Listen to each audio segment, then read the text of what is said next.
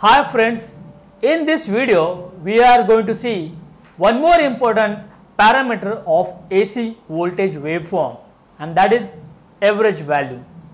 Let us see the definition of average value. The average value of an alternating quantity is defined as that value which is obtained by averaging all the instantaneous values over a period of half cycle. Now, why half cycle is required for calculation of average value? Because AC waveform we have seen that it is a sinusoidal in nature, it has two positive as well as a negative half cycles which are identical one. So, thing is that if I average or if I add all the instantaneous values in positive as well as negative half cycle ultimately it sums up to a 0. So, we can say average value is 0, but that is not a case. Whenever we calculate average value of such waveform, we need to take only half cycle because it is understood remaining half is identical to the first half, only sign is changing. So, in order to avoid this uh, problem, we always take half cycle while calculation of average value. So, average value can be calculated by two way, one is a graphical and second is analytical. So, what graphical method is? I am considering a half cycle and in this half cycles I will consider so many instances. So, let us take a 12 instances I have calculated and for every instant I calculate the instantaneous value of a current or a voltage and simply I will add them and divided by number of instances we are taken. So, that gives rise to this formula for 12 instances I have V average as V1 plus V2 plus V3 up to V12 divided by 12. In general suppose I am having n number of points. So, I will get V average as V1 plus V2 plus V3 up to Vn divided by n.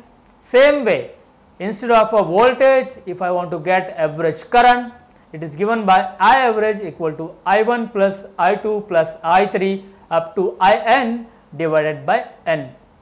So, this is the one way of a calculation of average value. Let us go to the second way and that is analytical method. So, what we do in analytical method we just consider the area covered by this half cycle. Okay. So, what I will consider a smart element I will consider and then I integrate over a half cycle I will get a average value. So, let us solve. So, the average value can be obtained by taking the ratio of area under the curve over a half cycle to length of base of half cycle. So, I average equal to area under curve for half cycle and we have seen that it is integral 0 to pi i d theta because i d theta is that small element which we need to integrate to get a complete area under the half cycle and length of half cycle is pi. So, 1 over pi I can take it out. Integral 0 to pi i d theta. If I solve instead of i I need to substitute i m sin theta. I m I can take it out as it is constant. So, i m by pi integral 0 to pi sin theta d theta. Sin theta integral is minus cos theta. And if I apply the limits I will get value 2 im by pi. 2 by pi is a constant and if we solve you will get the constant number 0.637. So, I can say I average is nothing but 0.637 im.